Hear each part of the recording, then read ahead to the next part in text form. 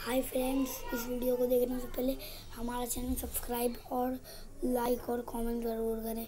तो आज मैं आपको बताऊँगा repro span life span of animals तो मैं आपको लिख के बताऊँगा पहले।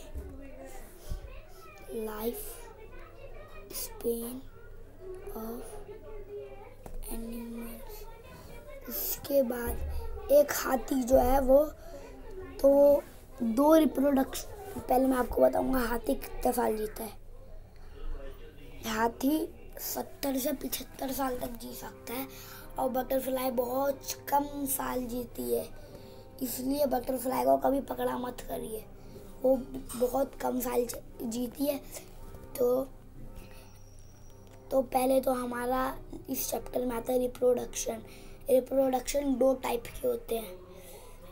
एक तो वो जो अपने बच्चों को दूध पिलाते हैं और एक वो जो अपने बच्चे, जो जो अंडे नहीं, जो अपने बच्चों को पैदा करते हैं और एक वो, जो वो, जो अंडे में से अपने बच्चे निकालते हैं।